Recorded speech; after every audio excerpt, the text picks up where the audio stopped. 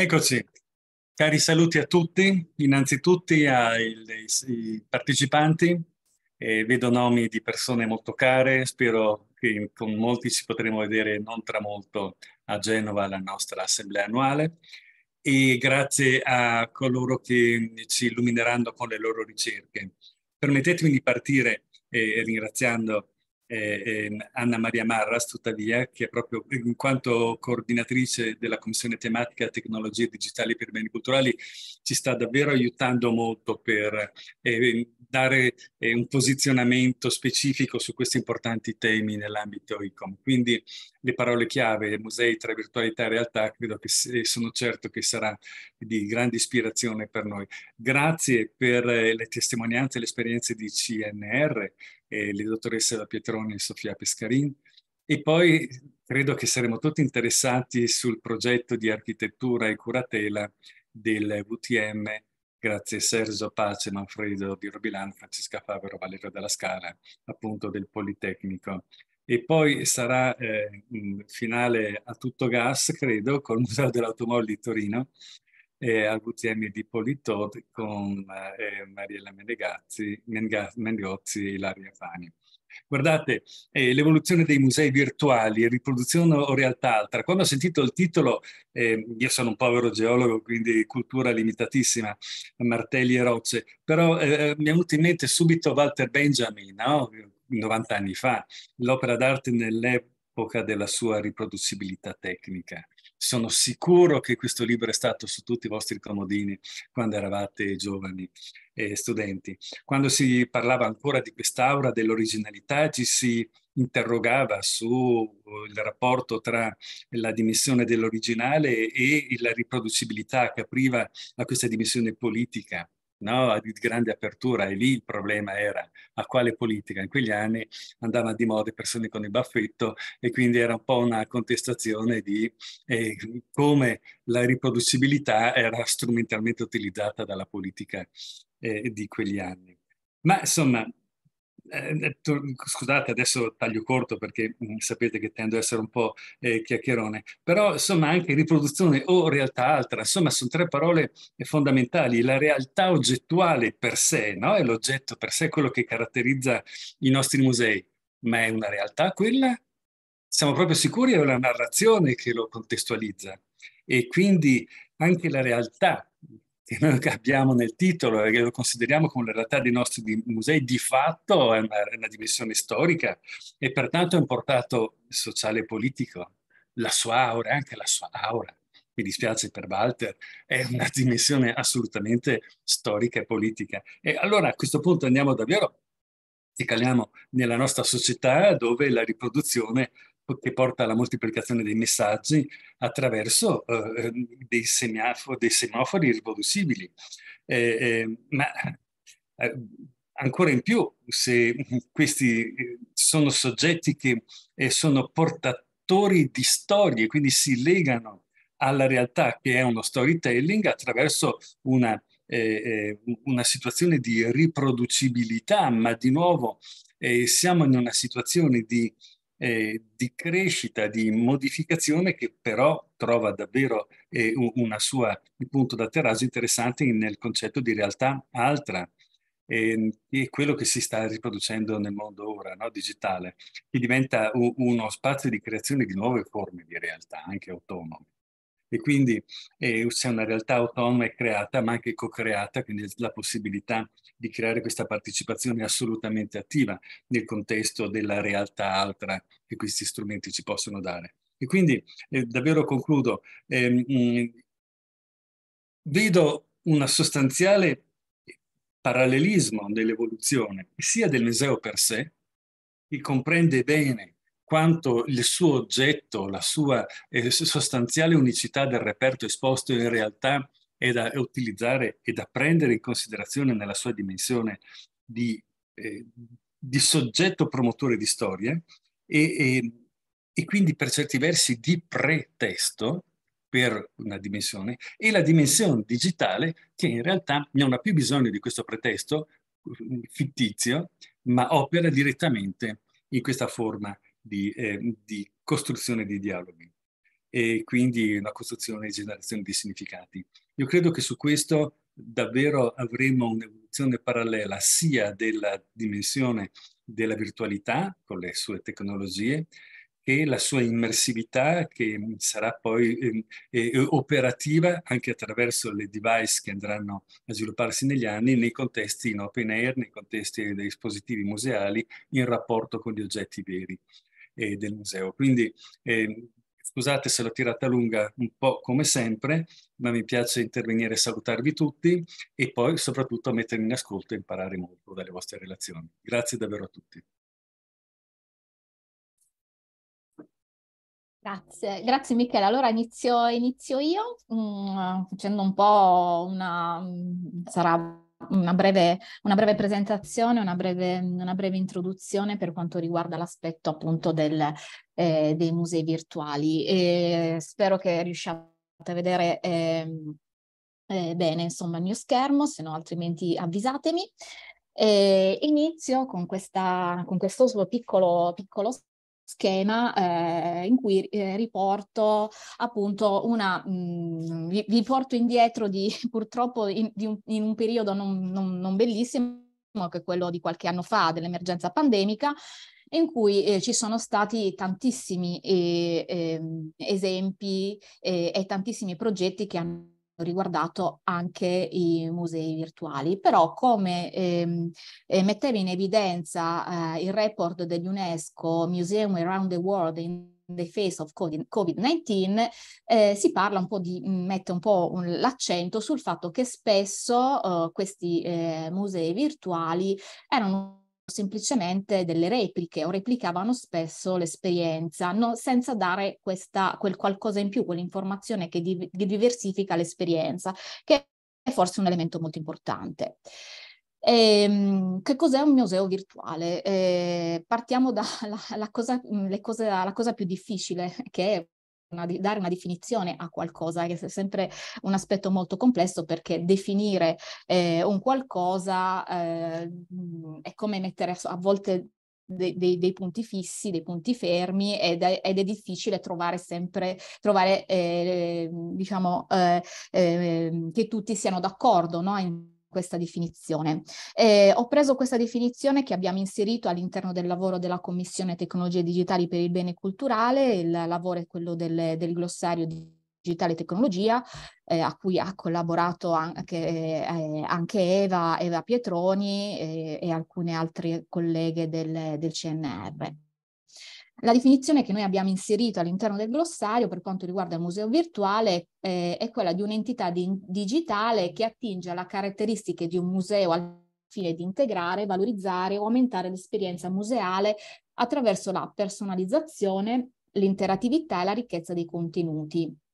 Come museo fisico, anche il museo virtuale è concepito per essere aperto e accessibile al grande pubblico. Inoltre le pratiche curatoriali devono garantire la validazione scientifica dei contenuti e la qualità dell'esperienza. Vedete qua, insomma, ovviamente come eh, rispetto a quello che veniva, viene messo in evidenza dal, dal report dell'UNESCO, eh, sia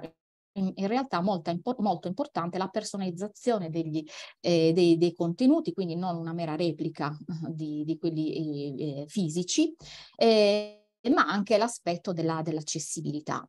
E a questo punto, mh, data insomma mh, questa, questa, definizione, eh, parto da, da alcuni aspetti. Quindi perché mh, vengono, mh, vengono, realizzati i, i, musei virtuali? Ovviamente mh, questi sono soltanto alcuni dei motivi e sicuramente ce ne, sono, ce ne sono tanti altri, però insomma dovendo fare una sintesi in questo poco tempo, questi sono quelli a mio parere eh, più importanti. Ovviamente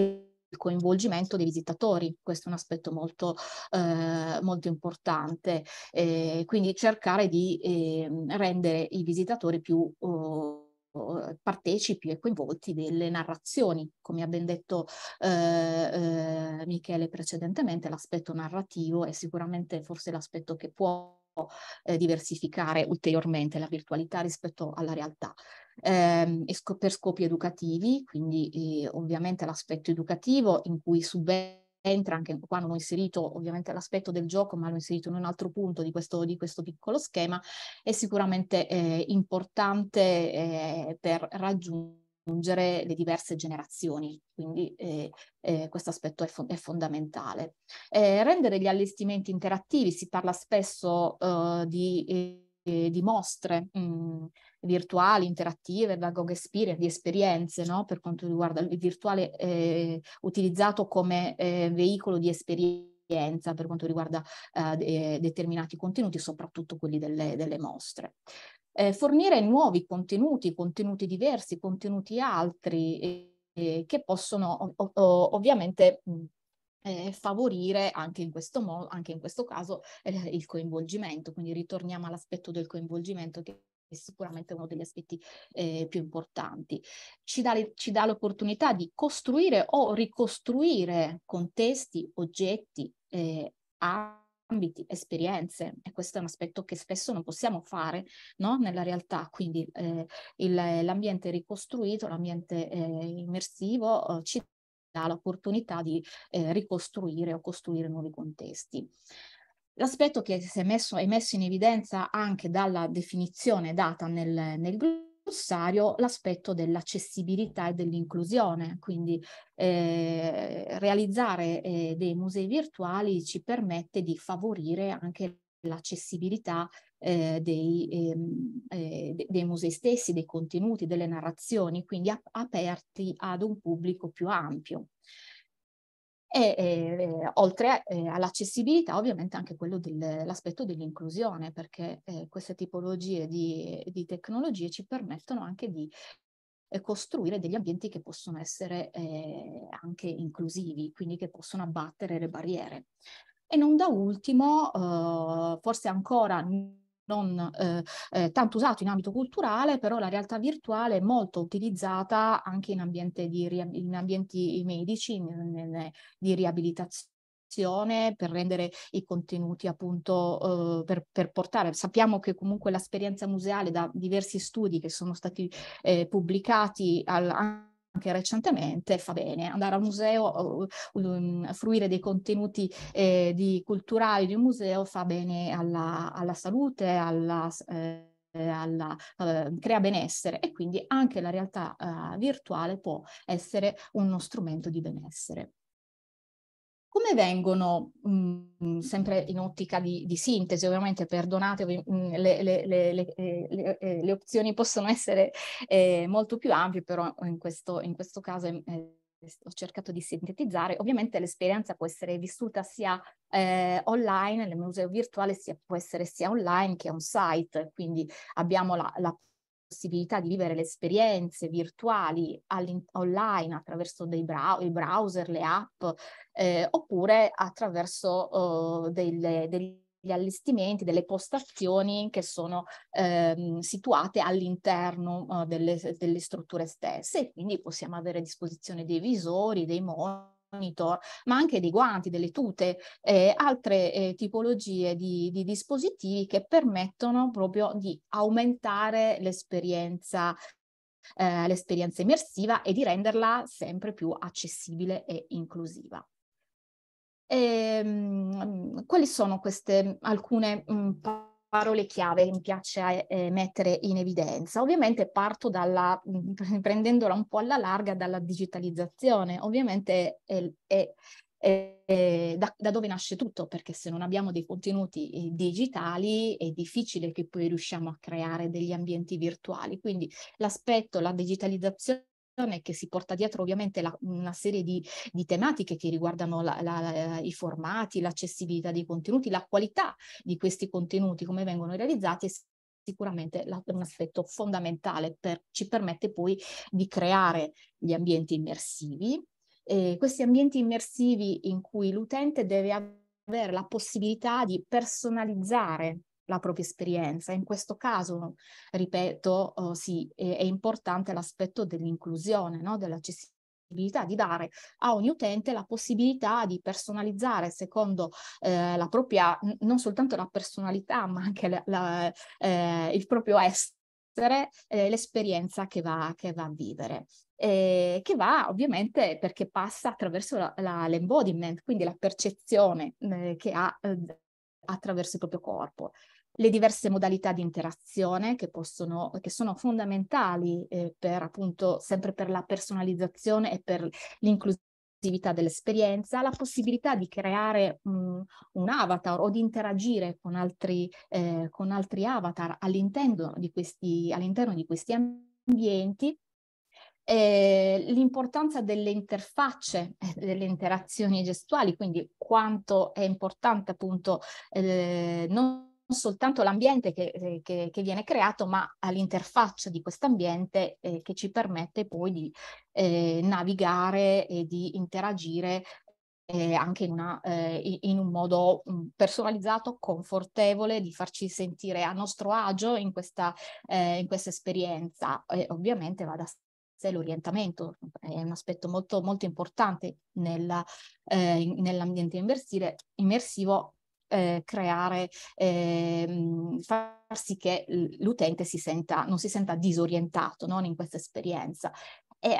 anche l'aspetto di quanto dura l'esperienza, del tempo, perché anche questo è un aspetto fondamentale, perché eh, per eh, rendere appunto tutto molto più, più, più confortevole, dare, dare, anche un tempo, una scansione temporale a questa nostra, a nostra esperienza. Eh, l'aspetto dei contenuti, noi possiamo, eh, eh, che sono anche qua devono essere comunque concepiti in un'ottica di inclusione e accessibilità, quindi sia contenuti testuali scritti eh, che appaiono scritti in un determinato modo, ma anche ehm, mm, eh, eh, suoni, eh, eh, voci, eh, comunque contenuti audio che possono permettere di guidare l'utente eh, in, questa, in, questa, esperienza. L'aspetto del gioco, che è un aspetto eh, che nel, appunto sempre nella, eh, nell'esperienza virtuale sempre, eh, non sempre, però è sicuramente un aspetto uh, molto importante e, e le nuove ehm, es- esperienze di, di questo... Uh,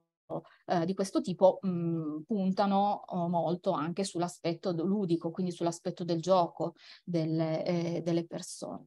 Eh,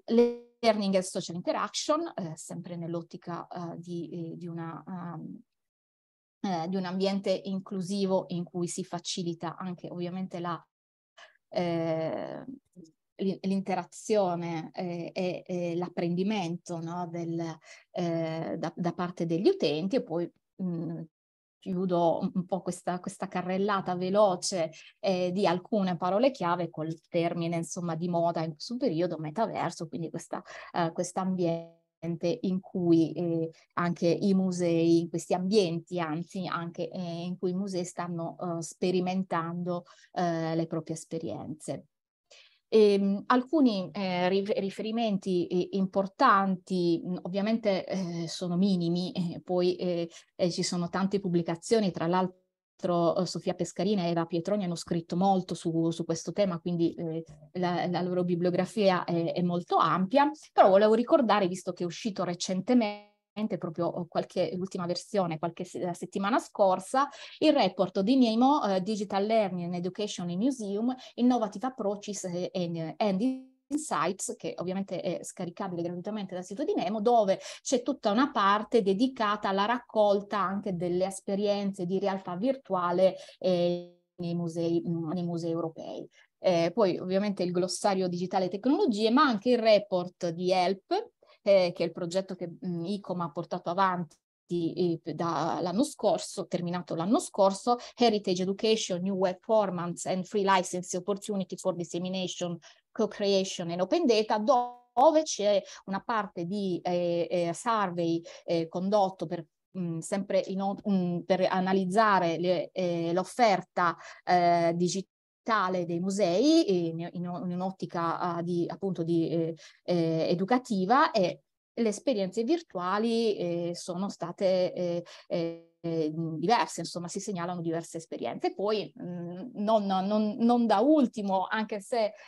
cronologicamente andiamo un po' indietro nel tempo. Sicuramente il progetto VMaster, dove tra l'altro, eh, da cui tra l'altro la definizione eh, del glossario delle tecnologie, la definizione di museo virtuale prende, eh, prende, spunto e un po' eh, diciamo la amplia è sicuramente uno dei progetti, è stato uno dei progetti più importanti eh, per quanto riguarda i musei, i, i, musei virtuali.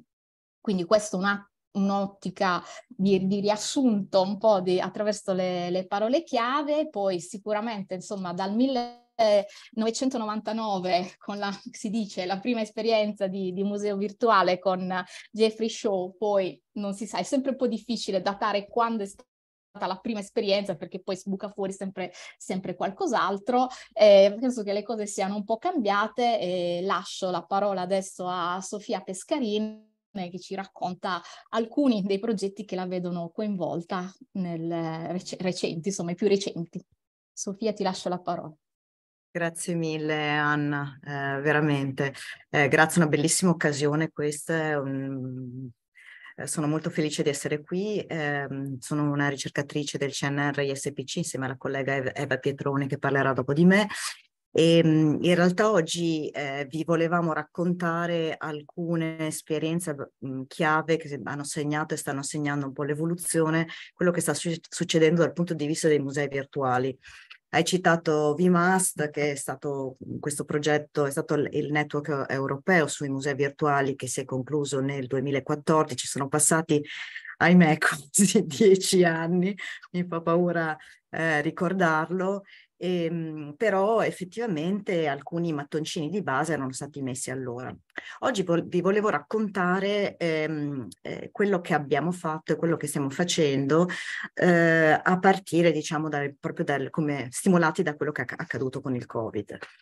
E, ehm, in particolar modo con quelli che sono gli ambienti ibridi. Eh, stiamo cercando sempre di più di eh, di recuperare anche la dimensione tangibile, fisica del, del, delle esperienze digitali e all'interno dei musei virtuali. Vi condivido eh, brevemente una presentazione. Il progetto di cui parlerò si chiama Brancacci Pop, ovvero Point, Point of View. Eccoci qua. E che è un po' un prototipo di ricerca. Mm, quindi ehm, diciamo che abbiamo cercato un po' di sperimentare nel campo della, eh, della virtualità e dell'ibridità, nel tentativo di mettere insieme la parte, il nostro corpo, la parte fisica che è fondamentale nelle esperienze che abbiamo nella, nella, nella nostra vita, eh, la parte fisica che è legata al patrimonio virtuale e le tecnologie interattive. Innanzitutto, eh, che cos'è un'esperienza ibrida? Per spiegarlo cito un, una, un volume bellissimo che, che, consiglio a tutti che si chiama Hybrid Museum Experiences, Theory and, Des- Theory and Design, che eh, spiega eh, chiaramente che il, eh, le esperienze ibride sono quelle che utilizzano nuove tecnologie per aumentare, espandere e alterare l'esperienza fisica di una visita di un museo. Quale, facciamo un esempio. Ecco, vi cito un esempio che viene da un vecchio progetto, vecchio, un progetto di qualche anno fa che si chiama GIFT, un progetto europeo, eh, nel quale ad esempio eh, è stata sviluppata un'applicazione che prevedeva una, un'app sul telefonino che consentiva ai visitatori di registrare delle riflessioni, proprio registrare l'audio di, di alcune riflessioni personali riguardo agli oggetti di una collezione del museo e di inviarle, di mandarli come un regalo, un gift, da qui il nome, a qualcuno. Eh, che a, a, sua volta eh, poteva eh, aprire il regalo e davanti a, all'opera ascoltare il, il videomessaggio e lasciare un altro messaggio, e in una sorta di guida personale completamente eh, diversa, non curata in maniera diversa, invece che dall'alto un po' dal basso. Ecco, eh, Brancacci Point of View è un, un, un'esperienza ibrida eh, virtuale per, che ha come obiettivo quello di eh, cercare di superare alcuni limiti di quelli che sono i, quelli che chiamiamo tradizionalmente virtual tour eh, e nasce un po' dalla, dalla uh, insoddisfazione rispetto a quel, um, quell'offerta online dei virtual tour eh, intesi come eh, visita eh, in ambienti eh, in aree de, di musei o eh, ehm, percorsi museali, soprattutto attraverso acquisizioni video e, e foto 360. Eh, in realtà eh, il ragionamento che abbiamo fatto è, è, legato molto al concetto di autenticità di un'esperienza, cioè ehm, sappiamo dal, dagli studi che riguardano il settore del turismo che i turisti, eh, soprattutto nell'ambito del turismo culturale, cercano esperienze che siano ehm, autentiche, oltre che memorabili e significativi. E quindi la, la parola autentica per noi è stato, come dire, lo stimolo per le nostre ricerche. Abbiamo cercato quindi di cambiare completamente il concetto di virtual tour e ibridizzarlo in un certo senso. Che cos'è la, la, Cappella Brancacci? La Cappella Brancacci è un monumento eh, che si trova all'interno della Chiesa del Carmine a Firenze, oltre Arno. Eh, una, uh, è un, una, un, come dire, è un gioiello di rinascimento fiorentino eh, con, eh, che, che, vede, come dire, che ha visto alcuni degli artisti migliori della, della nostra storia, come Masaccio Masolino e poi Filippino Lippi, eh, lavorare insieme a Masaccio Masolino e poi successivamente Filippino Lippi. Ora, la Cappella Brancacci, eh, oltre ad essere se da una parte è una, un, un'opera d'arte meravigliosa, dall'altra eh, si trova in una, in una situazione un po' di svantaggio, cioè si trova in una zona del comune di Firenze, oltre Arno, che non è nel, nel, eh, nel tour, nei, nel, nei, percorsi di visita tradizionali, eh, del, soprattutto dei turisti. Quindi soffre un po' di questo tipo di pro problematica. E Seconda, eh, secondo elemento fondamentale è che eh, un paio di anni fa sono emerse alcune problematiche dal punto di vista del, eh, della conservazione del, del, monumento perché sono emersi alcuni ehm, problemi riguardo a, ad alcuni distacchi della, della pellicola pittorica del monumento e questo ha dato l'avvio a una campagna di eh, monitoraggio eh, del, che ha portato alla parziale diciamo, chiusura del, del monumento. Eh, il monumento è visitabile tuttora oggi, c'è un, un, cantiere all'interno eh, eh, ed è visitabile solo su prenotazioni in determinati eh, momenti della settimana e orari del, del giorno. Quindi questo ci ha dato un po' lo stimolo e l'avvio. Che cosa abbiamo pensato? Abbiamo pensato di, scusate la, la grafica eh, molto basica, ma era un po', un, è un po' un sistema molto visivo e semplice per farvi capire che, di cosa stiamo parlando. Eh, abbiamo pensato di consentire non più una persona, ma un gruppo di, di visitatori eh, di ehm, esplorare insieme eh, un, il monumento della Cappella Brancacci, ehm, accompagnati, eh, utilizzando il proprio eh, smartphone o un tablet o mettendo a disposizione eh, un visore per la realtà virtuale immersiva. Il tutto accompagnati da una guida, da un esperto che eh, è, può essere presente eh, insieme a loro e quindi può accompagnarli in questo percorso eh, di, di esplorazione. Una, svolgendo attraverso una narrazione che può essere eh, eh, come dire, realizzata e personalizzata a secondo del tipo degli, degli utenti. In realtà il modello che abbiamo pensato concettuale è fatto anche per pensare e coinvolgere i nostri visitatori anche nel caso in cui si trovino a casa e eh, anche nel caso in cui alcuni si trovino in, in una uh, come dire, una uh, location dall'altra parte del, del mondo, eh, in una classe e eh, mentre alcuni sono magari fisicamente in sito al museo eh, con la guida che si trova al museo. L'esperienza può essere comunque unica. Il, questo è un po' la, mm, un esempio di quello che succede eh, attra nella, attraverso l'applicazione di Brancacci Pop. I visitatori arrivano, eh, selezionano un, un, proprio personaggio, perché volevamo lavorare proprio sul, sull'elemento anche di personalizzazione, di assegnazione di un ruolo, incontrano eh, la guida eh, che eh, si presenta, introduce l'esperienza, e li a, scambi a, scambiarsi proprio come un momento di ice breaking, invita a, a esprimere e, e, a esporre il perché della scelta personale del, del determinato, in questo caso, personaggio. E, ehm, descrive il, un task perché tutta l'esperienza è fatta attraverso, si svolge attraverso dei piccoli obiettivi che, che la guida eh, pone al gruppo. I eh, task eh, vengono, quindi gli obiettivi vengono svolti insieme dal gruppo. Alla fine eh, del, di questo lavoro collaborativo la guida invia un POV, un point of view, un punto di vista che appare su tutti i device in maniera analoga, indipendentemente dal tipo di device che gli utenti utilizzano, indipendentemente se eh, gli utenti abbiano uno smartphone, un tablet, un visore immersivo, un Oculus o siano a casa davanti a un PC. Questo è estremamente importante perché consente alla guida di ehm, eh, comunicare con, un gruppo di, con il gruppo di persone, anche se non si trovano fisicamente nello stesso luogo, attraverso un meccanismo fatto di domande provocatorie che stimola lo scambio e la riflessione tra i visitatori, per poi concluderla con una, una spiegazione finale, una narrazione che chiude, diciamo così, l'esperienza e, e, e, consente a, a, ai visitatori di eh, arrivare alla fine. Eh, Abbiamo dovuto, per, per realizzare tutto, qua, che, tutto, questo, cosa abbiamo fatto? Abbiamo acquisito eh, eh, tutte eh, le informazioni relative alla Cappella Brancacci eh, in, in, tre dimensioni, eh, non soltanto la cappella ma anche la chiesa. Abbiamo fatto un lavoro di acquisizione estremamente complesso eh, sia dal punto di vista geometrico che ehm, delle immagini. E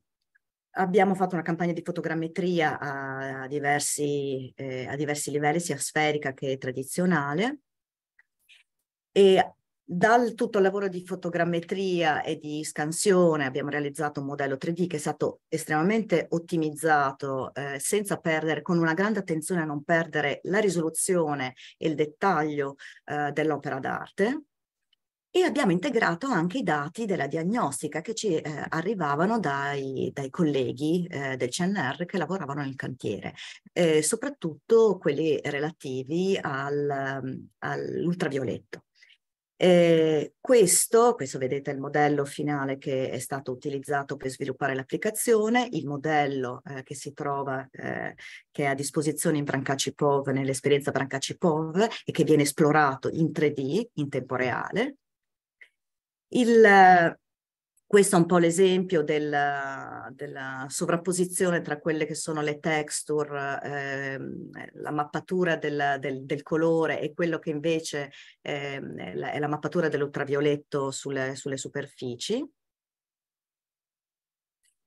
E tutti i dati realizzati sono andati a finire in una digital library 3D ehm, e tutto questo è stato possibile eh, grazie al fatto che abbiamo utilizzato come come strumento e come eh, framework eh, di riferimento eh, un, mh, mm, un, progetto open source che si chiama Aton che il nostro istituto del CNR sviluppa da diversi anni e che è proprio uno strumento, un framework eh, costruito ad hoc per realizzare ehm, ambientazioni web 3D interattive XR, multipiattaforma e multi-device.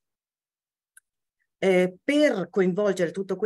eh, questi tipi diversi di utenti abbiamo lavorato sulle interfacce, abbiamo realizzato mh, quattro diverse interfacce. La prima è quella della guida. La guida, come vedete qua sulla sinistra, ha una sorta di console la, attraverso la quale visualizza i diversi partecipanti e quello che stanno facendo e visualizza anche il, il, la narrazione che, eh, che, mh, che, eh, come dire, che li accompagna. Un secondo tipo di interfaccia che è quella dei visitatori che hanno un tablet o uno smartphone così come un'interfaccia per i visitatori che invece stanno, sono all'interno della Cappella Brancacci eh, in maniera completamente immersiva, eh, con un visore per la realtà virtuale. Noi abbiamo lavorato con gli Oculus.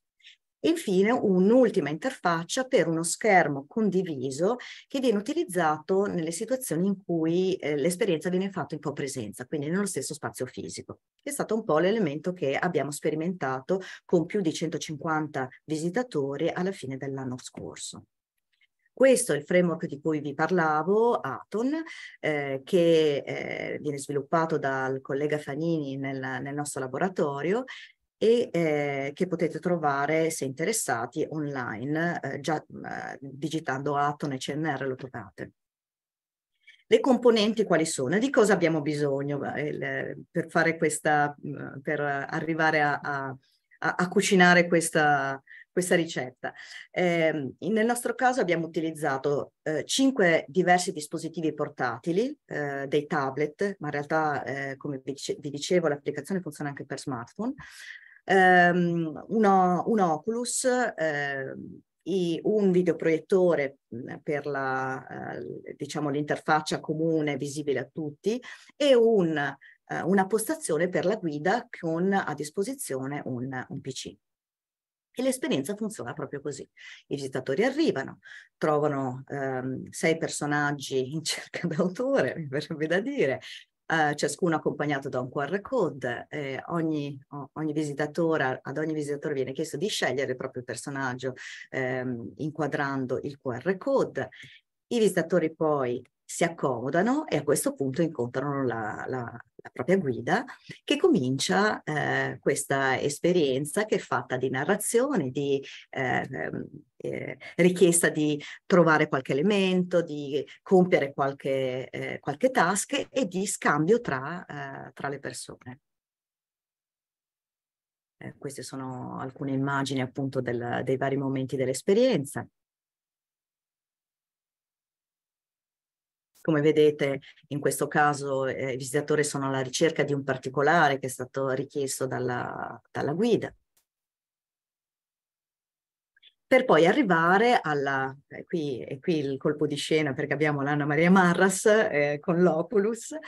per arrivare a, alla fine a quello che per noi è stato il, il, nostro reward, ovvero consentire alla fine di tutta questa esperienza che dura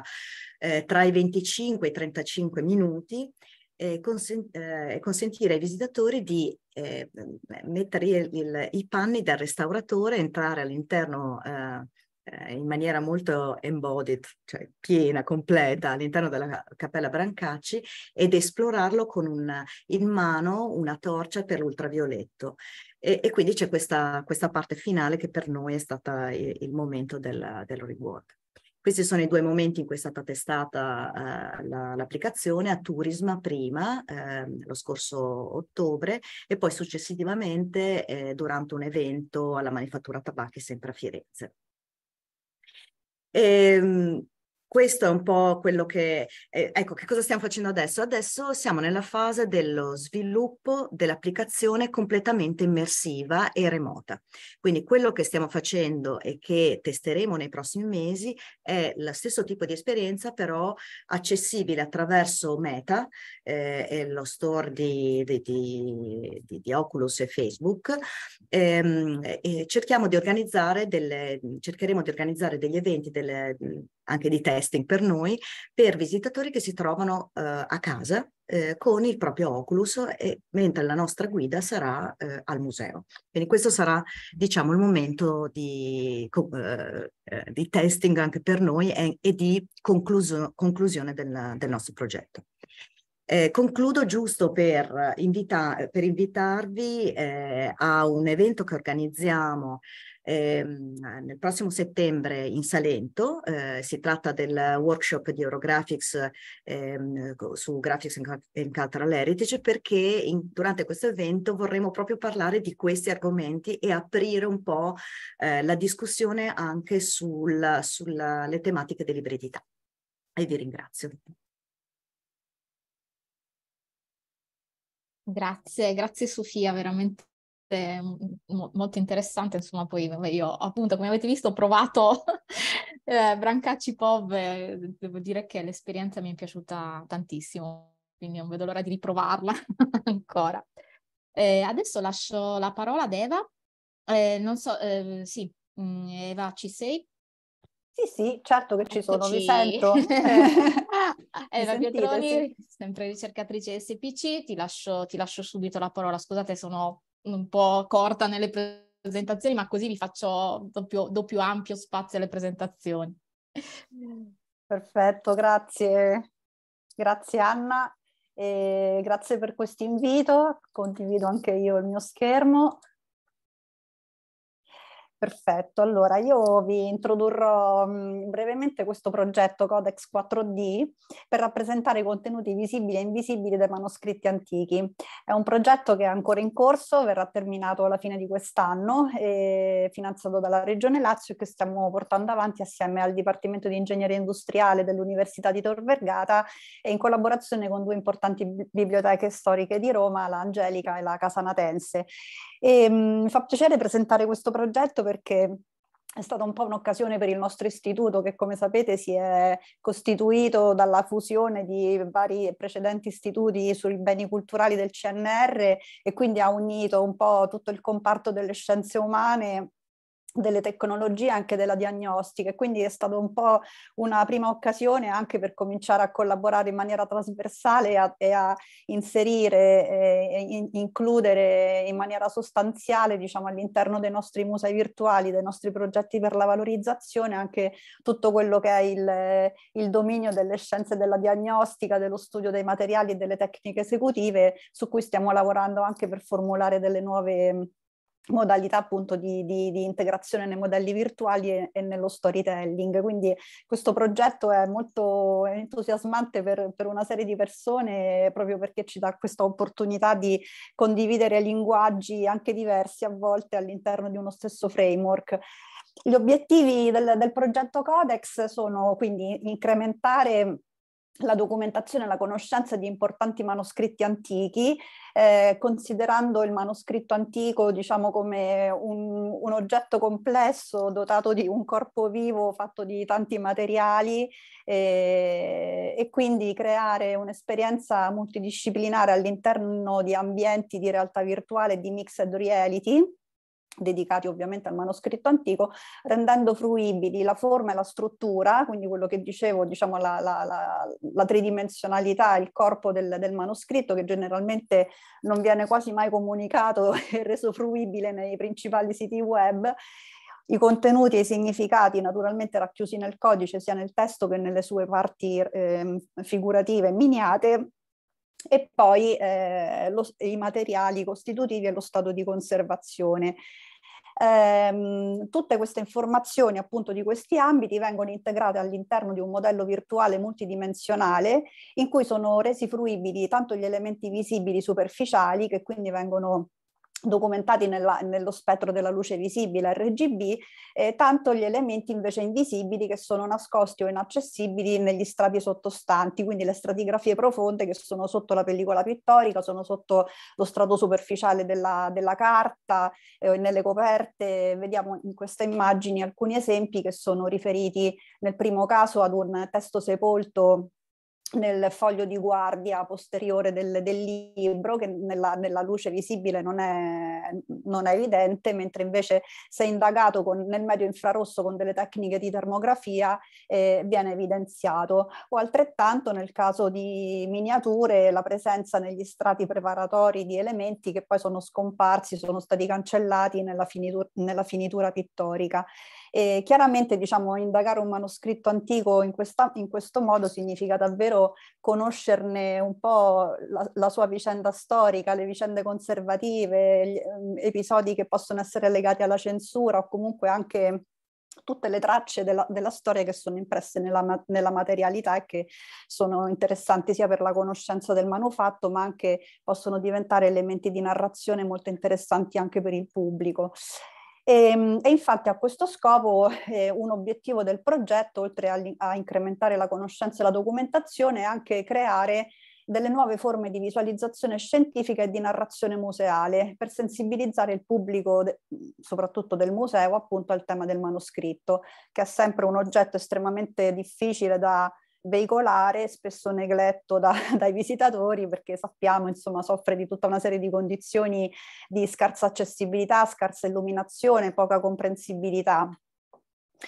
E, e, ehm, siamo partiti naturalmente all'inizio del, del, progetto con il fare una sorta di benchmarking e di stato dell'arte di quelli che erano i, i, progetti più importanti a livello nazionale e internazionale sui manoscritti antichi, eh, partendo dai, dai, siti web, dai progetti online, dalle applicazioni e da anche i, eh, gli articoli scientifici. E ehm, per, soprattutto per capire eh, in, quale, in, quale, punto di questo panorama il nostro progetto potesse collocarsi e, e che tipo di valore aggiunto eh, poter sviluppare e eh, questo, questo, tipo di attività è andata in parallelo con eh, un'indagine sui potenziali utenti, eh, ovvero noi abbiamo eh, intervistato mh, un campione di persone, alcune erano eh, gli stessi partecipanti al, al, progetto, quindi erano dei ricercatori partner che conoscevano molto bene quali erano gli obiettivi che inizialmente avevamo formulato per capire comunque più approfonditamente quali fossero le loro aspettative, chiaramente persone con differenti background. E poi in parallelo abbiamo anche intervistato delle, delle, persone esterne al progetto che nulla conoscevano appunto del progetto per capire eh, quali fossero i loro bisogni, loro, i, i, loro desideri eh, nell'approcciare un, um, una,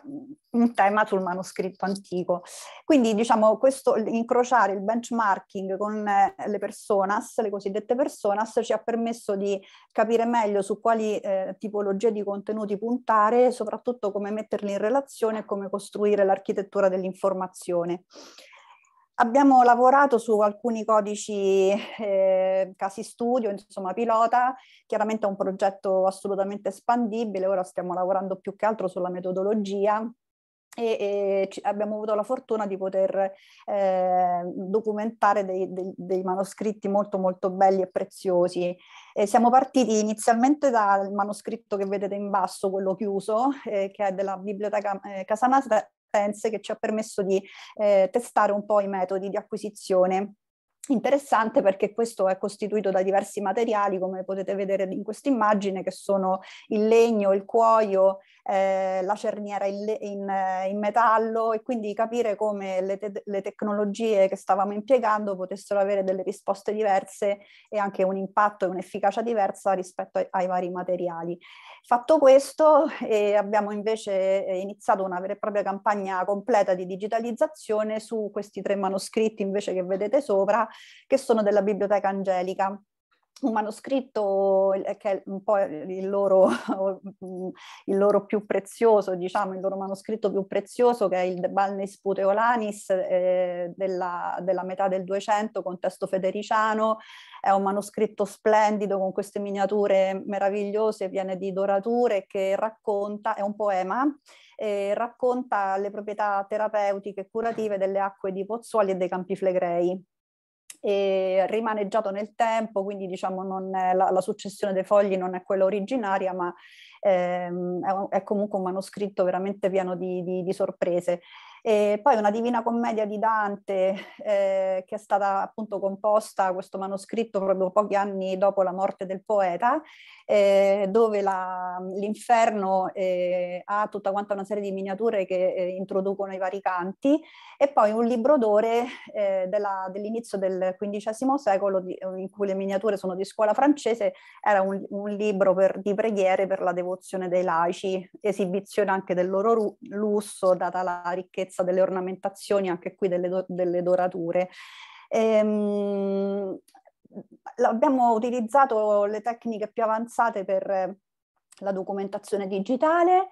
e abbiamo anche depositato un brevetto eh, che, mh, diciamo per un metodo che ci permette di eh, ricostruire modelli tridimensionali direttamente a partire dalle immagini all'infrarosso acquisite con la termocamera, utilizzando comunque integrando tecniche di fotogrammetria e di termografia appunto. La fotogrammetria per documentare e modellare la superficie e, e la termografia per documentare con il medio infrarosso gli strati sottostanti e anche modellarli.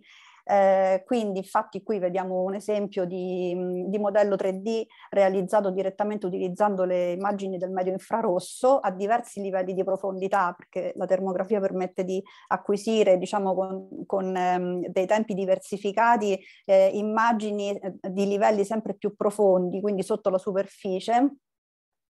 E, e, ehm, e, poi a questo modello appunto stratigrafico eh, sono state aggiunte tutta quanta una serie di informazioni che derivano dalle analisi chimiche, microbiologiche e fisiche condotte grazie alla collaborazione del nostro MOLAB, che è il laboratorio mobile per la diagnostica dell'infrastruttura dell'Heritage Science IRIS, per documentare materiali tecniche esecutive e stato di conservazione. Non mi dilungo su questo, i risultati del progetto sono fondamentalmente la realizzazione di tre eh, diversi output, eh, ovvero una web app 3D per la visualizzazione scientifica, una vetrina olografica per la fruizione museale e un sito web di presentazione generale del progetto in cui vengono ehm, raccontate le metodologie che sono state utilizzate e poi c'è tutta una sezione su, con un glossario narrato molto, molto interessante, insomma, per permettere a chi non ne sa molto di entrare in questo mondo del manoscritto antico in un modo anche divertente e semplice. Eh, della web app vi mostro direttamente un brevissimo video, anche questa è realizzata con il nostro framework XR open source Aton, che appunto ha già citato Sofia, e, ehm, e questa ci permette in un ambiente interattivo di, ehm, di, visualizzare in tempo reale il, il, manoscritto, di prendere delle misure. Eh, questa è la coperta del libro delle ore, di aprire eh, delle altre pose e quindi indagarle utilizzando in questo caso una lente rivelatrice che ci permette di andare a, a esplorare anche gli strati sottostanti, quindi queste immagini in scala di grigio sono i termogrammi a vari livelli di profondità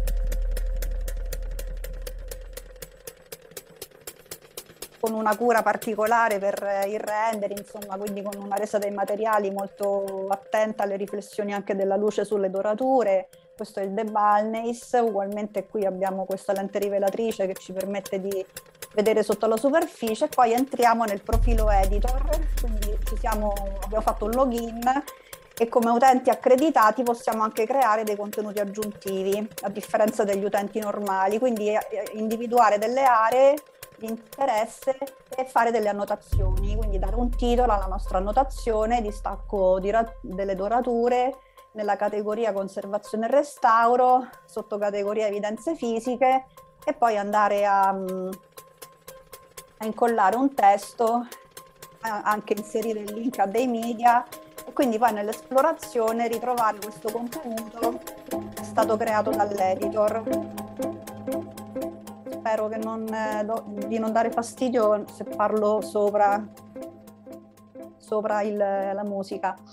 E, ehm, vado ancora avanti, questo invece è appunto la, la, l'altro output, la vetrina olografica, in cui essenzialmente giochiamo con i dati che provengono dalla ricerca scientifica e li trasmettiamo attraverso un linguaggio più leggero, per così dire, anche un po' ludico se vogliamo, un linguaggio più poetico che vuole eh, sollecitare un po' le corde emozionali del, del visitatore e quindi è, un ambiente di mixed reality in quanto la vetrina può, può contenere anche degli oggetti fisici e le, le proiezioni virtuali eh, arricchiscono e rendono viva la narrazione.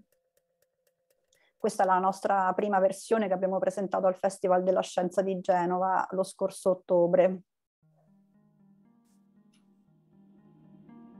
Questa è una delle mie pose preferite. Anche se la miniatura del bagno di Tripergole è fronteggiata da versi che non le corrispondono, perché riguardano il bagno di Prato.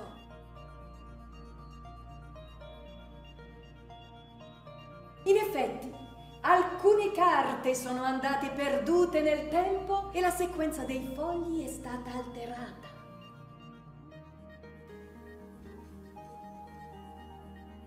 In basso Cristo Redentore rompe le porte degli inferi che si credevano situate nel lago d'Averno per trarre in salvo i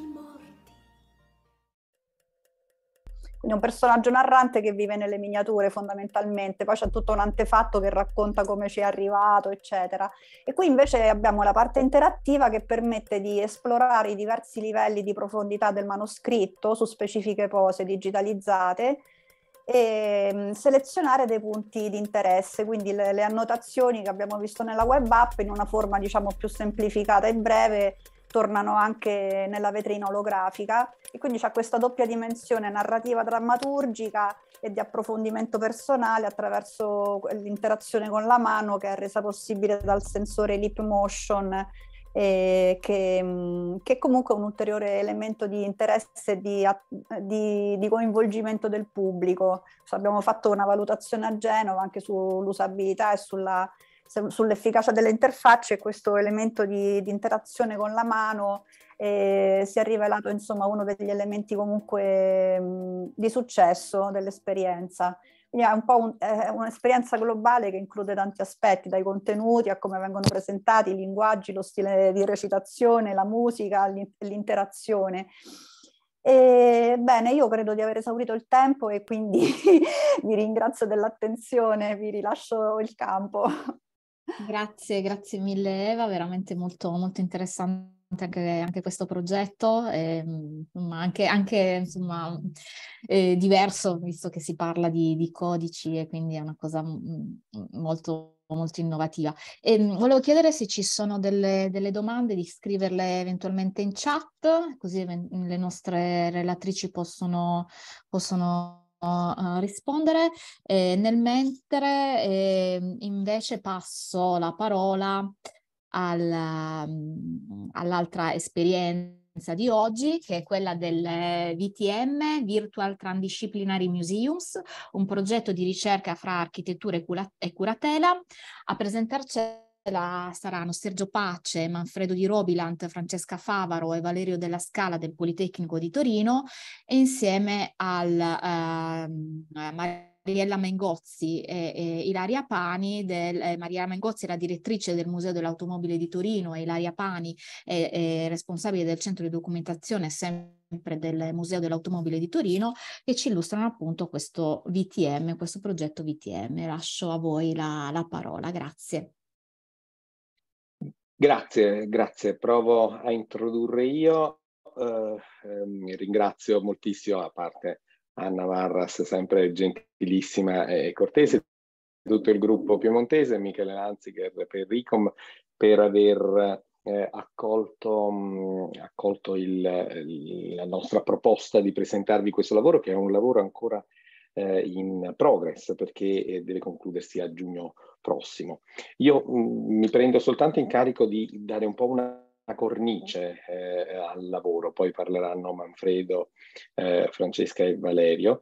eh, perché eh, il lavoro nasce all'interno di un eh, bando promosso dalla Fondazione Compagnia di San Paolo nel 2020, ehm, è un bando su intelligenza artificiale, uomo e società, eh, che aveva una parte dedicata a arte e cultura che appunto ha vinto un gruppo di cui noi facciamo parte. È un gruppo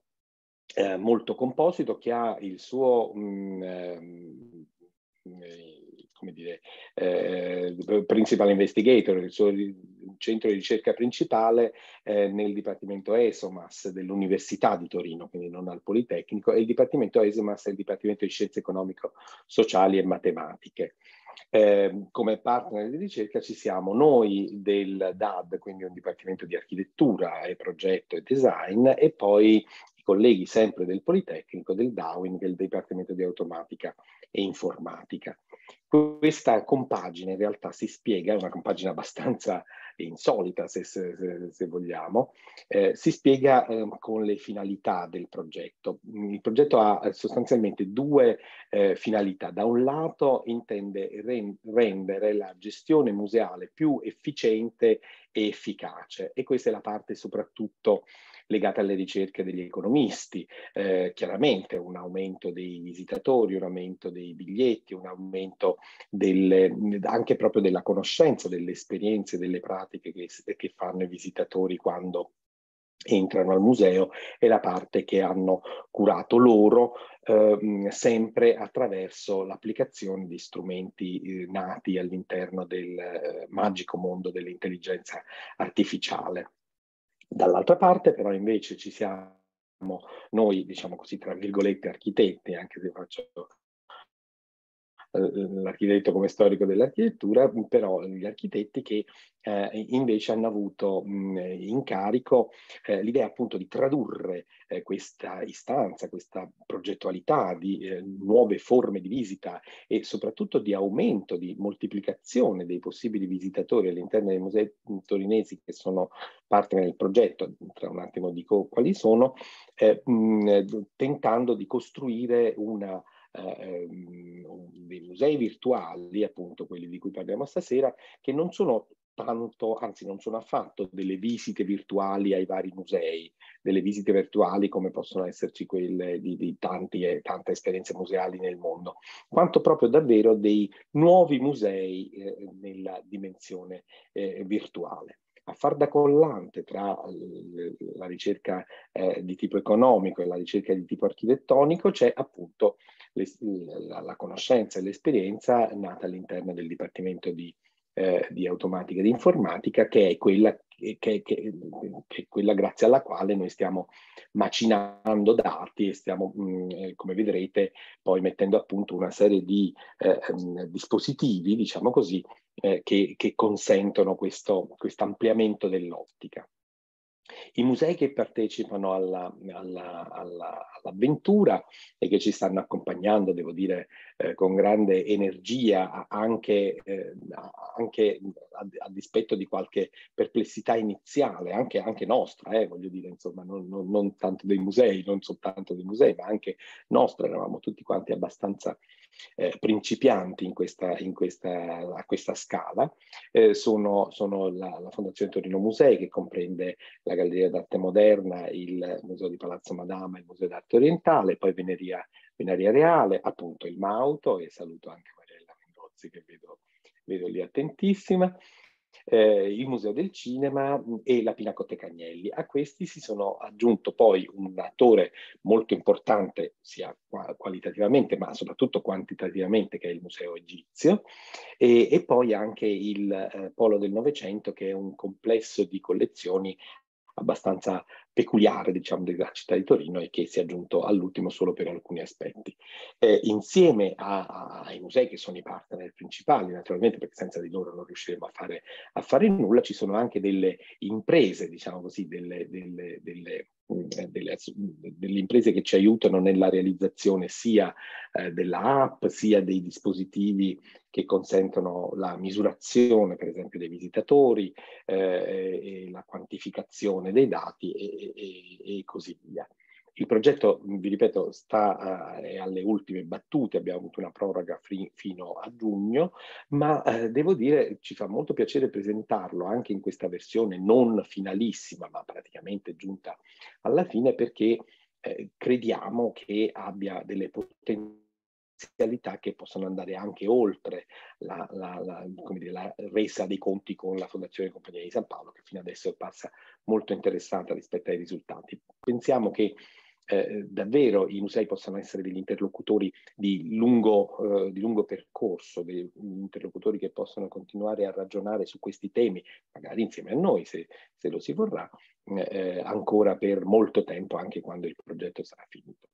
Quello che però mh, mm, mm, vorrei fare subito è passare la parola a Manfredo Di Robilant, eh, che eh, mio collega al Politecnico nel Dipartimento di, di Architettura, quindi architetto anche lui, che insieme a due giovani ma validissimi, valentissimi collaboratori che sono Francesca Favaro e Valerio della Scala,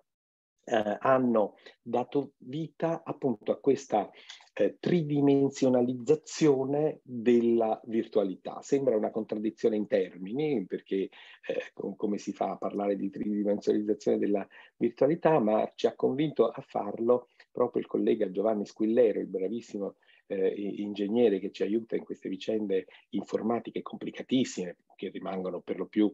oscure naturalmente a noi poveri mortali, eh, che eh, spesso ci ha parlato di spazi a 30-40 dimensioni, per cui mh, figurate se ci impressiona pensare a una tridimensionalizzazione virtuale. Manfredo, ti darei subito, Manfredo, Francesca e Valerio, ti darei... Sì, grazie Sergio. Entro... vedere di che cosa si tratta. Dunque, mh, mm, quando si tratta di virtualità, i musei eh, per ora per lo più eh, hanno trasferito la, eh, propria, eh, diciamo, i, i, propri ambienti reali eh, in esperienze virtuali. Eh, quindi si cerca di creare una eh, esperienza che dia l'impressione di essere lì, nel luogo. Questo ha, eh, delle presenta delle contraddizioni per cui certi problemi dei musei reali, per esempio il fatto che ci siano oggetti che disturbano la vista come gli estintori, piuttosto che le, le, le, le barriere per non avvicinarsi troppo agli oggetti, vengono replicati. Inoltre eh, i, eh, questa, questa, queste tecnologie hanno una obsolescenza molto rapida, per cui per esempio il, un gigante come il Metropolitan Museum in realtà è rappresentato online, la visita virtuale è una visita che eh, già adesso, appunto nel 2023, risulta essere eh, mh, tecnologicamente, dal punto di vista visivo, un po' superata. Ci sono poi ehm, eh, iniziative, eh, piattaforme che eh, offrono ai musei e eh, anche ad artisti e espositori a gallerie private spazi virtuali in cui ehm, esporre, che di nuovo eh, si basano sulla ricreazione di eh, ambienti fittizi, ma comunque ehm, riprendono eh, tutte le caratteristiche di uno spazio reale, con i faretti, i soffitti fatti in un certo modo eh, e, e caratteristiche architettoniche reali. C'è poi la... Ehm, il, ehm, mm, le pocket gallery, ci sono poi le pocket galleries di Google Arts eh, eh, che ehm, per lo più prescindono da ehm, spazi eh, reali, eh, ma anche da spazi, cioè prescindono da spazi reali, ma anche prescindono da spazi virtuali, sono solo delle collezioni di eh, opere, eh, salvo qualche rara eccezione. Data questa eh, situazione, eh, noi abbiamo pensato a dei musei, parlando con i musei torinesi, a eh, dei musei virtuali che contenessero mh, mm, eh, opere eh, in qualche modo, come dire, prestate eh, sotto forma di file dai musei stessi, gli otto menzionati prima da Sergio Pace, e ehm, queste opere sono state ehm, selezionate dalle, eh, dai team curatoriali dei musei stessi e si vedrà eh, gli ambienti virtuali entro cui sono esposte sono eh, ambienti che nulla hanno a che fare con eh, edifici reali, tantomeno quelli dei musei stessi. Sì, eh, e quindi appunto gli obiettivi di questo nostro progetto, anche rispetto allo stato dell'arte che è stato appena delineato, sono innanzitutto quello di superare questa concezione di surrogato virtuale, moltiplicando invece le possibilità di fruizione museale attraverso la generazione di un nuovo concept di spazio globale che sia esplorabile su una piattaforma online in cui siano messe a sistema le collezioni eterogenee, in questo caso delle principali istituzioni museali torinesi. Un altro obiettivo è la concezione di un progetto che consenta di sviluppare attraverso l'intelligenza artificiale nuove modalità di concezione dello spazio eh, espositivo e questo appunto è ancora una parte in progress del nostro progetto che per ora invece è esito di intelligenza puramente umana. Infine il terzo obiettivo è quello di sperimentare nuove forme spaziali sfruttando le potenzialità dello spazio virtuale estendibile potenzialmente all'infinito e quindi ampliare la riflessione sul progetto di allestimento. Quali sono un po' le regole del gioco che ci siamo dati? Innanzitutto abbiamo definito 20 musei virtuali attraverso l'identificazione di 20 parole chiave che abbiamo tratto in parte dall'ambito dei Sustainable Development Goals dell'Agenda, dell'Agenda 2030 delle Nazioni Unite, che noi abbiamo un po' inteso come termini rappresentativi delle istanze attuali della società civile a livello globale ma in parte sono termini anche afferenti a categorie che potremmo definire estetiche. Abbiamo poi quindi allestito ogni museo virtuale con 20 opere tratte appunto dalle diverse collezioni museali coinvolte. Questa collezione virtuale totale quindi si compone di varie centinaia di opere. Ehm, queste sono appunto le parole chiave che abbiamo selezionato. Come potete vedere sono molto varie. Abbiamo il climate change, per esempio, ma abbiamo anche la categoria dell'armonia del caos o quella eh, della commedia. Um, in questa, invece in questa slide possiamo vedere da un lato appunto le parole chiave e dall'altro quelli che sono proprio i modelli dei 20 musei virtuali, in questo caso eh, sono stati appunto, eh, schema- li vedete appunto schematizzati. Eh, questa invece è solo un'istantanea della ricchissima collezione a cui abbiamo accennato. Sicuramente un primo tratto evidente è la grandissima eterogeneità di questa collezione. Possiamo vedere vetture affiancate a reperti archeologici insieme a dipinti. In generale si tratta di opere che sono collocate in spazi fisici distanti e che raramente, se non mai, vengono poste in dialogo, soprattutto attraverso temi ehm, così inediti come appunto per esempio quello del cambiamento climatico quanto riguarda la costruzione di questi spazi virtuali, abbiamo seguito delle regole elementari e adimensionali. Siamo nello spazio virtuale, infatti. Eh, c'è un'unità minima, che è un cubo, che a sua volta è scomponibile in eh, eh, lati e in eh, spigoli, e ehm, si può ehm, eh, assemblare eh, a partire da un solo lato, oppure può, essere, può comprendere tutte tutti gli elementi. I cubi a loro volta si possono eh, giustapporre e combinare secondo una serie di eh, eh regole geometriche e eh, nel progettare un museo, qui è il caso del museo del climate change, ehm, noi abbiamo pensato prima, eh, a partire da, dai, dal sistema dei nostri cubi, che sono un po' come fossero dei pixel tridimensionali, eh, abbiamo pensato a una mh, eh, rappresentazione, eh, mm, meglio a creare una metafora visuale del, ehm, mh, mm, del, tema stesso del museo, in questo caso appunto il climate change, abbiamo eh, creato una, eh, dire, una, una, specie di eh,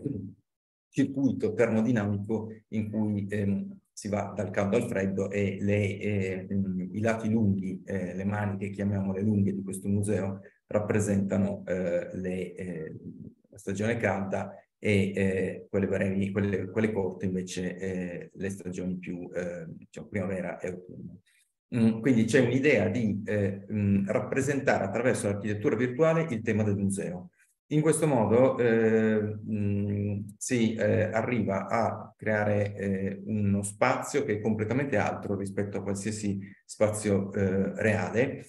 Si evita in questo modo il rischio di cannibalizzazione eh, o autocannibalizzazione dei musei che quando, troppi, quando sono poi troppo realistici nella loro rappresentazione virtuale, questa è la nostra ipotesi, eh, rischia poi che disincentivino la visita reale. Invece in questo caso i musei possono eh, prestare, tra virgolette, le loro opere a eh, musei eh, trasversali, transdisciplinari, li abbiamo chiamati,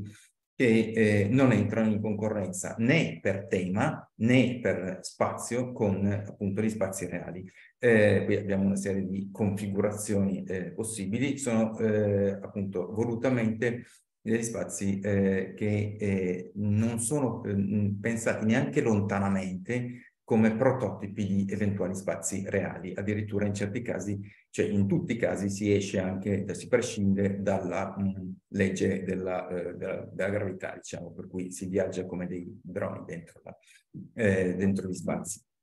Mm, le opere sono state selezionate a partire appunto dalle, dai, dalle scelte dei team curatoriali dei vari musei e eh, qui entriamo nel merito di eh, tre esempi. Lascio, sì, ehm, in realtà molto brevemente il, il prodotto di, di, questo lavoro è stato qui sintetizzato attraverso tre casi che non approfondiremo nel, nel merito di ognuno dei quali, ma che riportare è molto importante al di là del fatto che rappresentano l'output del prodotto perché danno consistenza a quanto espresso finora dai miei colleghi ma i due eh, aspetti più interessanti del, degli elaborati che vi mostreremo sono come ognuno di questi 20 eh, musei sia stato esploso in una serie di eh, oggetti che ne descrivono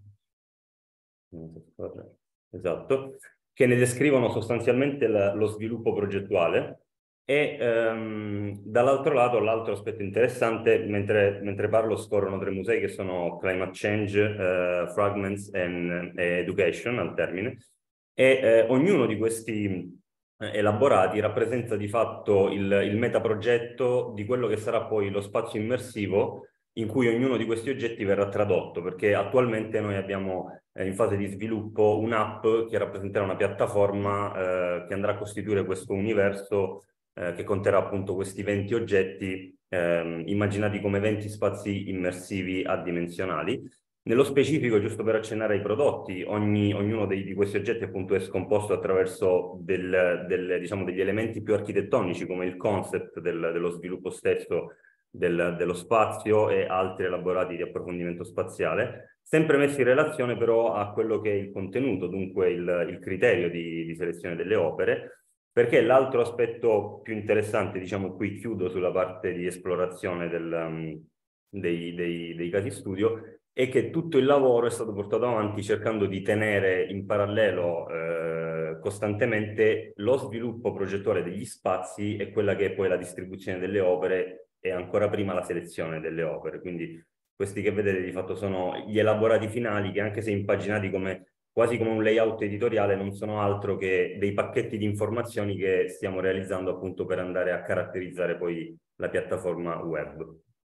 Um, sì, per ogni, eh, per ogni museo eh, abbiamo un, eh, un, video e eh, il museo quindi è è navigabile e è, è possibile poi, eh, stiamo studiando con il Dipartimento di Informatica del Politecnico di Torino un, il modo di rendere le opere il più possibile interattive. Um, L'obiettivo nostro è eh, allargare il più possibile eh, la eh, diciamo, eh, platea di musei che eh, possano essere interessati a partecipare a questo progetto. Vale a dire, per ora eh, noi abbiamo eh, coinvolto otto musei dell'area metropolitana torinese in quanto partecipanti come noi alla cordata che ha vinto nel 2021 questo bando della mh, mm, Compagnia di San Paolo eh, e quindi questi otto musei ci hanno fornito delle opere. Mm, mm, l'aspirazione qual è? È avere eh, dei contributi in termini di eh, file, immagine e di didascalie eh, su Word o Excel da eh, altri musei italiani che eh, vogliano eh, in, dire, esplorare con noi questa mh, mm, mh, mm, avventura e, e ehm, appunto vedere so, quali possono essere ulteriori eh, oggetti, reperti, opere d'arte che eh, vadano a, ehm, che entrino per esempio nel Museo del Cambiamento Climatico piuttosto che nel Museo dei Frammenti o nel Museo dell'Educazione. Naturalmente ehm, le parole chiave che abbiamo eh, inventato, che abbiamo individuato, sono eh, meramente eh, come dire, eh, di studio, parole mh, utilizzate per la ricerca, ma non vogliono essere né esaustive eh, e possono sempre eh, cambiare ovviamente. La nostra sperimentazione è innanzitutto sul rapporto tra spazio virtuale e significato e tra contenuto e contenitore. Grazie. Possiamo lasciare magari la parola, sì, lasciamo anzi la parola al Museo dell'Automobile, sì. eh, collegata a Ilaria Pani e la direttrice Mariella Mengozzi. Eh, il Museo dell'Auto, come accennava prima Sergio Pace, ha partecipato al progetto, quindi eh, sentiamo cosa ne pensano. Grazie. Grazie, ma dico due parole io, poi eh, magari lascio la parola anche a Ilaria che ha seguito operativamente anche più da vicino eh, tutto il progetto. Diciamo che ehm, per il Museo Nazionale dell'Automobile questa è una, diciamo, una, una grande opportunità di avvicinare un pubblico che non è quello, diciamo, degli appassionati di automobili e quella per noi è sempre la, la, diciamo, la sfida principale quando si parla di automobili è facile che una parte di pubblico, di visitatore, di, di visitatori potenziali si scoraggi, pensi magari che, eh, so, che ci siano contenuti tecnici che non, che non, in, che non siano in grado di apprezzare, eccetera. Allora, il nostro museo in realtà ha un linguaggio molto immediato, molto, eh, come dire, diretto e, e, e quindi offre un'esperienza sicuramente di grande impatto. Ma con questo, questa trasversalità, questa opportunità di leggere l'automobile attraverso parole chiave che eh, mettono l'automobile in relazione a oggetti, opere d'arte completamente diverse, diciamo, mettiamo davvero il visitatore al centro dell'esperienza e eh, diciamo gli diamo l'opportunità di considerare l'automobile come una, un ampliamento diciamo, di conoscenza che magari non avrebbe preso in considerazione, anzi probabilmente sicuramente non l'avrebbe preso in considerazione perché, ripeto, il nostro in particolare è considerato proprio un museo molto eh, così verticale, no? molto mh, mm, specialistico. Eh, quindi diciamo che ehm, la, la, l'interpretazione, la lettura delle parole chiave, adesso in questo caso come, come, come è stato detto è una fase iniziale, insomma è tutto, tutto migliorabile e perfettibile, però il fatto di rendere, ehm, secondo noi, ecco, visibili le nostre collezioni in associazione con altri mondi, altri, altre collezioni, altri musei della città di Torino, eh, con una chiave di lettura, di interpretazione che non è quella tecnica eh, dell'automobile, secondo noi è davvero una, una grande novità, ecco, dove la, la tecnologia eh, diciamo, è davvero al servizio del visitatore che, che, vuole approfondire, che vuole essere incuriosito, che vuole essere stimolato a ragionare, a vedere eh, diciamo, gli oggetti altro, sotto altre prospettive. Ecco, quindi secondo noi è davvero una, così, un progetto che ha una validità importante. Poi è evidente che insomma, queste, queste app, tutti questi strumenti, insomma, anche sul territorio necessiterebbero di una sistematizzazione perché insomma, ci sono tanti progetti, tante iniziative, noi stessi abbiamo i nostri percorsi virtuali, abbiamo insomma tanti, tanti strumenti che stiamo sviluppando e così anche la città, insomma, quindi quello è tutto un altro, diciamo, tema. Però, eh, diciamo, questa trasversalità di lettura, la possibilità attraverso il museo virtuale di collegare oggetti diversi, secondo noi è molto, molto interessante. Io non vedo l'ora di, di vederlo davvero operativo. Quindi grazie a tutti. Grazie davvero Mariella, perché siete stati dei partner essenziali. Beh, ehm, ci abbiamo creduto, ecco, diciamo che um, insomma, sicuramente per noi l'opportunità è proprio tangibile. Mm. Bene, io ringrazio tutti i relatori, Anna Maria Marras per la sua puntualissima moderazione e mh, darei la parola ai partecipanti con un paio di domande che, che sono arrivate, oltre quelle diciamo, che avete già visto più tecnico-pratiche relative al webinar e alla possibilità di recuperarne eh, registrazione slide. Um, in particolare Antonio Cangelosi um, ci dice, premetto che le esperienze presentate sono veramente eccellenti. Vorrei sapere se sono state testate anche da persone con disabilità visive e uditive, visto che nel primo intervento Um, aspettate un attimo, visto che nel primo intervento è stato messo in evidenza che i musei e le mostre virtuali vorrebbero affrontare il tema dell'accessibilità fisica. Grazie per la risposta. Chi, chi vuole rompere il ghiaccio sul tema? Eh, no, questo è un punto mh, senz'altro di interesse eh,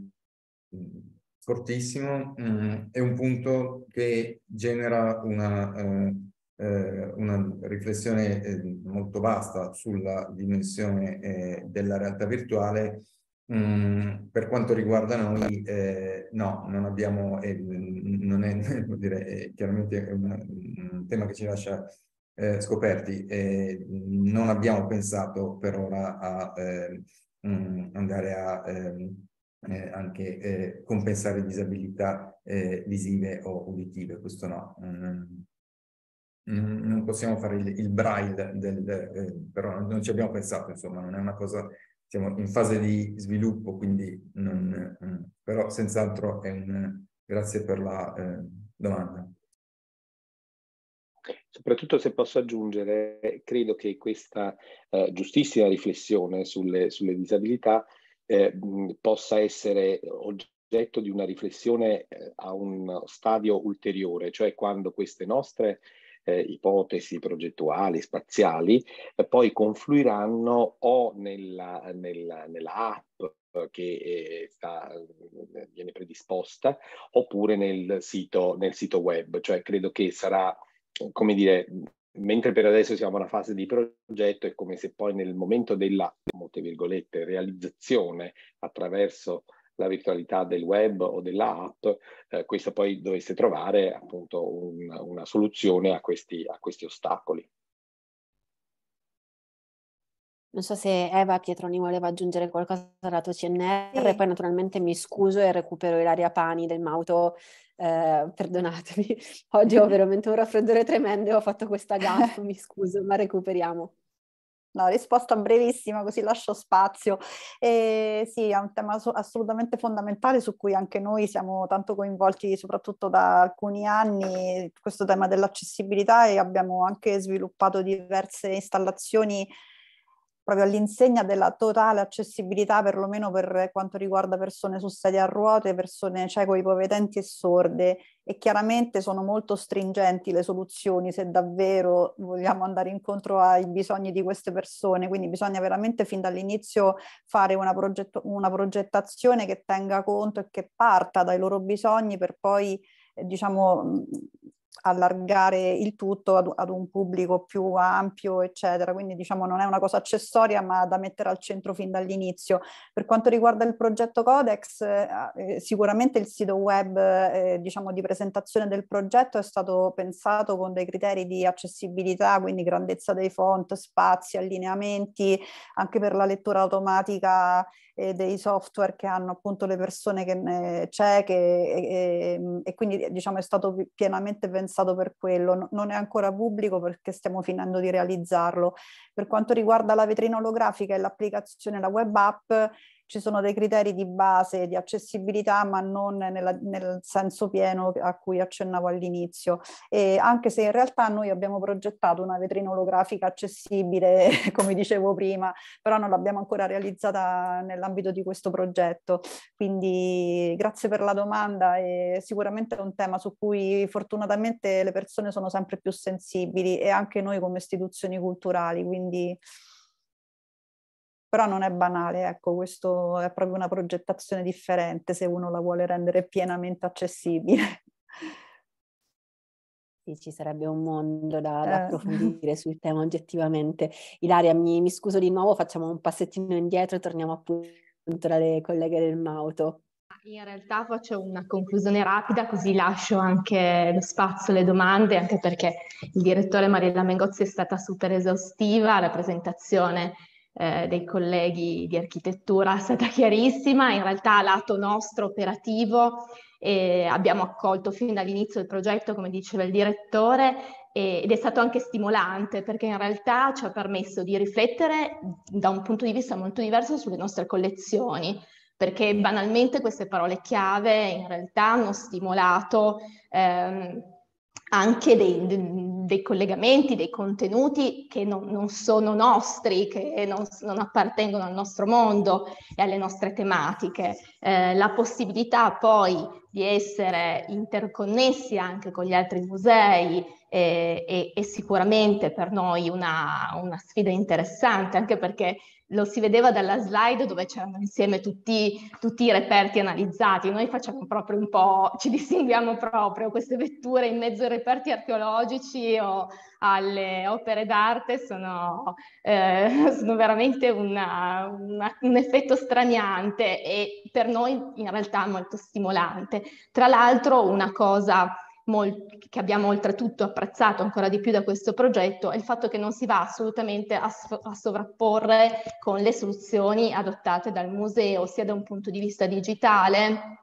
eh, sia da un punto di vista proprio eh, di eh, museo vero e proprio, perché da un punto di vista virtuale noi abbiamo vir- dei virtual tour che stiamo comunque sviluppando, ma questa è sicuramente una cosa diversa, una cosa altra e da un punto di vista di percorso espositivo questo progetto ci ha anche permesso in realtà di mettere in luce oggetti della nostra collezione che non sono nel percorso espositivo, non sono visibili, quindi sono un passaggio ancora in più. Per cui insomma non possiamo che essere positivamente contenti de- della partecipazione a questo progetto e non vediamo l'ora di partecipare a questa visita volante nel, nel mondo virtuale. Grazie. Grazie mille Ilaria, tra l'altro sicuramente è tutto un tema quello dei depositi e di tutte le opportunità che si aprono no, con, con, il mondo virtuale proprio per quello che stavi dicendo in queste ultime battute. Ehm, qualche altra domanda è arrivata, però eh, io saremo giusti adesso. Sì. Eh, scusi, io, se posso risponderei solo molto rapidamente a Salvatore Iva Raffaele. Eh, in effetti i musei virtuali non è tanto che vogliano decontestualizzare le opere quanto creare dei nuovi contesti per le opere reperti, oggetti eh, forniti da appunto musei che hanno delle mh, eh, eh, ragioni sociali molto diverse tra loro appunto. Eh, quindi ehm, si tratta di cercare nuovi significati e senza assolutamente ehm, andare a eh, negare o rigettare i ehm, significati filologici delle opere stesse. Grazie. Inoltre, se, se posso aggiungere soltanto proprio a, a titolo di chiarimento, eh, eh, ehm, la cosa fondamentale è tenere presente l'obiettivo iniziale, cioè quello della, diciamo così, messa a sistema del complesso di musei che hanno partecipato e probabilmente che potrebbero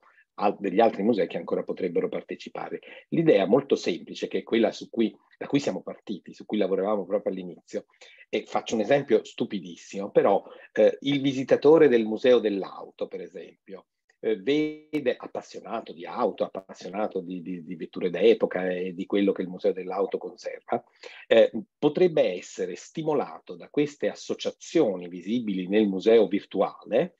eh, potrebbe essere stimolato a appunto associare alla macchina X o la macchina Y, il motore o con, con, con quant'altro esposto nel museo dell'auto, potrebbe essere stimolato a riconoscere o conoscere ex novo un'altra opera fosse un'opera d'arte, un'opera d'archeologia, che per motivi vari si potrebbe eh, associare, eh, associare, a un'automobile e quindi essere indotto da visitatore reale in visita in un museo reale, potrebbe essere indotto a visitare un altro museo reale in quanto visitatore reale. Cioè è bene considerare che l'esperienza, nella nostra intenzione perlomeno, parte e finisce nei musei reali. Diceva benissimo Ilaria Pani, non tocchiamo minimamente le, le, le collezioni, ci mancherebbe, ma neanche i criteri eh, espositivi, i criteri di scelta, i criteri di allestimento. Quello non voglio dire che non ci interessi, ma quello è una questione museale che rimane assolutamente lì. Quando il nostro visitatore avrà, avendo visitato il museo A, associato al museo A anche il museo B, andrà a visitare il museo B. Noi siamo soltanto l'anello di connessione, diciamo così, tra i due musei, che rimangono assolutamente reali e, se mi permettete di scendere molto su, su, coi piedi per terra, che però è un argomento che è sempre, sempre vincente, avendo pagato il biglietto del museo A, pagherà il biglietto del museo B, laddove dei nostri musei non, non si paga nessun biglietto, ovviamente. Tutto qua. Grazie di nuovo. Farei una um, piccola digressione anche se abbiamo superato di pochissimo l'orario, ma eh, ci terrei a leggere ancora due domande. Una che è arrivata nella nostra chat, diciamo, degli organizzatori, e, ehm, ed è proprio da parte di Eva Pietroni del CNR, eh, che oltre appunto a fare i complimenti per il progetto sui musei immaginari astratti, come un bel lavoro appunto di design grafico e concettuale, eh, chiede se si potrebbero usare questi ambienti virtuali per ospitare contenuti e mostre opere realizzate da terze parti, oppure ogni museo virtuale è un design inscindibile fra ambienti e opere. Eh, no, questo è proprio il nostro, il nostro auspicio, che eh, questa collezione del tutto provvisoria e, come dire, è, è ampiamente discutibile di eh, 20, per noi non siamo eh, curatori di, di, di, mestiere, siamo architetti, mh, mm, che questa eh, collezione di, di keywords possa eh, suggestionare e, e generare altre, eh, altri temi, altre parole chiave intorno a cui eh, costruire nuovi musei fatti ad hoc con le stesse regole mh, mm, che abbiamo illustrato e eh, eh, sempre con l'idea che poi possono essere mh, ehm, mm, usufruiti eh, come spazi espositivi da più musei. Quindi senz'altro c'è una grande apertura su questo e ci fa molto piacere che eh, se, se, se, se eh, si crea un dialogo senz'altro eh, sarebbe molto bello. Per esempio quando veniva illustrata la bellissima mh, mm, esperienza, bellissimo lavoro sui manoscritti, abbiamo pensato, beh, sarebbe bellissimo fare un museo virtuale per questi manoscritti con, delle, eh, una figura eh, architettonica virtuale che in qualche modo parli dei manoscritti stessi. Aggiungo solo se posso breve, brevemente che questo qui è interessante perché questo è stato un tema, diciamo, di, cioè era una delle domande su cui facendo ricerca ci siamo eh, imbattuti perché uno, uno delle, diciamo, dei, dei, propositi era quello di immaginare che ognuno di quegli spazi fosse incrementale in parallelo all'incrementalità della collezione, quindi all'aggiungersi di nuove opere quello spazio potesse espandersi, però per essere anche molto onesti e trasparenti, uno dei temi quando si fa ricerca è anche sbattere contro i muri. Attualmente diciamo che l'espansione spaziale di quegli oggetti è una strada un po' complicata, però a livello metodologico non c'è nessun problema nell'estendere diciamo, le opere o le collezioni. Però siccome nella domanda c'era il tema se sono attualmente gli spazi correlati alla collezione, effettivamente attualmente questi oggetti sono fortemente connessi a, quei, a quelle 20 opere, ma più per un problema tecnico che non di, di ipotesi metodologiche, se sono stato chiaro. Grazie. Però appunto a partire dalle nostre regole del gioco possiamo, eh, ci potete commissionare musei virtuali di qualsiasi soggetto. Grazie. Ottimo. Eh, io provo a fare un rapido check per sapere se il nostro presidente è ancora collegato, se vuole dire qualcosa in chiusura, se no abbiamo sforato di ben sei minuti e vi ringrazio tutti, anche il pubblico che naturalmente ci ha seguito fino alla fine e ricordo appunto che la registrazione sarà disponibile su YouTube e che le slide, anzi qui lo, lo chiedo poi anche ufficialmente a tutti i relatori, eh, saranno pubblicate se loro ce lo consentono sul, sul, sito di Comitalia. Ecco Michele, non so se vuoi dire due parole in chiusura. No, no, eh, abbiamo fatto tardi, è veramente ammirevole l'avanzamento di pensiero oltre che tecnologico che ho potuto seguire e, e davvero eh, questo mission, no? questo insieme eh, organico di crescita dei significati e modi di fare dei musei troverà tantissime risorse dalle ricerche che state svolgendo. Quindi grazie Barbara e grazie Anna Maria per aver raccolto delle esperienze così significative che davvero ci hanno... Io parlo proprio da, in questo momento non tanto da, da presidente ICOM, ma da, da operatore di museo, da direttore di museo, che, che davvero eh, ci si trova a volte nella difficoltà anche di trovare delle linee guida di alto profilo. E questo di questo pomeriggio sicuramente è stato un evento di questo tipo, quindi grazie davvero. Anna Maria, un saluto finale da parte tua. Eh, io volevo insomma, ringraziare tutti, tutti, i relatori perché abbiamo fatto una, una, sorta di escurso, se abbiamo visto non dico tutte le possibilità, ma le grandi possibilità che ci offre la realtà virtuale, quindi grazie, grazie a tutti. Benissimo, allora vi, vi, auguriamo buona Pasqua e ci aggiorniamo in maggio con un nuovo Giovani di Comitalia. Grazie a tutti per aver partecipato. A presto. Auguri. Grazie, grazie a voi. Grazie, grazie. grazie a tutti.